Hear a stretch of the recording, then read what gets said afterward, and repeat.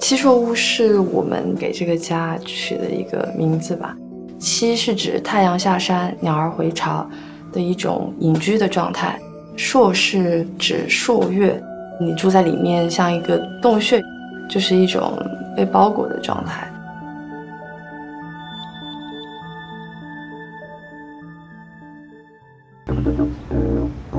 我叫杨武德，土生土长成都人，现在是一位 didgeridoo 演奏者。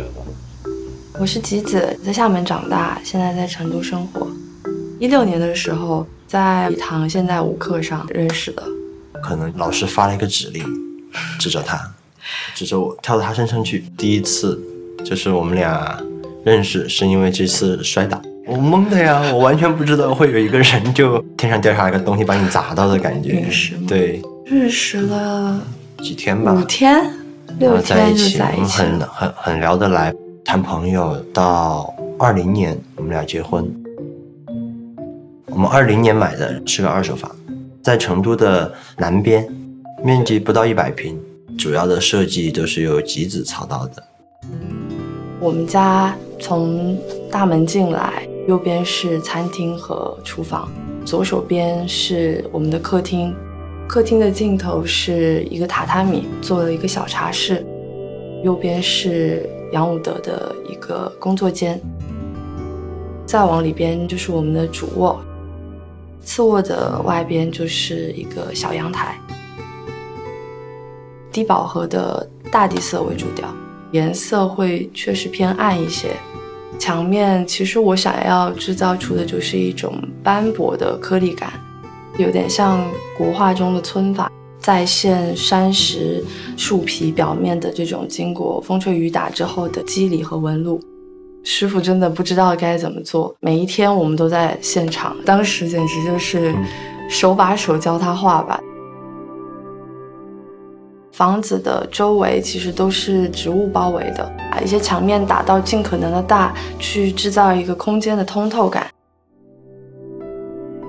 软装上面大部分是中古器物偏多，吸引我们的地方就是时间沉淀的痕迹感。进门的小镜子、小的收纳柜都是印度的中古。客厅背后的这个大三角，它是非洲的一个部落的建筑顶端。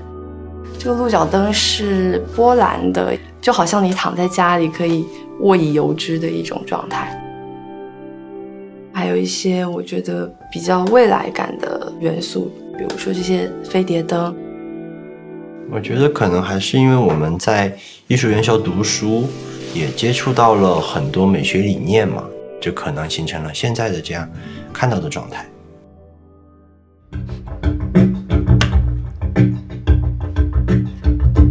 平时我练乐器、做音乐的一个小空间，七平米，它是个狭长型的一个长方形，就像一个小山洞。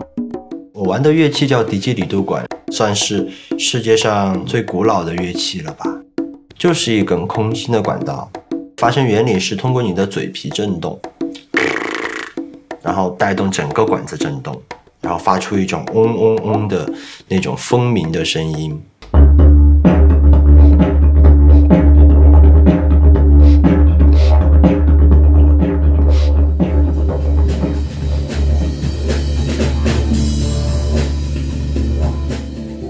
自己有一帮朋友，大家经常在一起玩音乐，有川音的老师，也有职业音乐人，有玩手碟的、打鼓、弹口弦、吹印度的班苏里笛的，大家都身怀本领。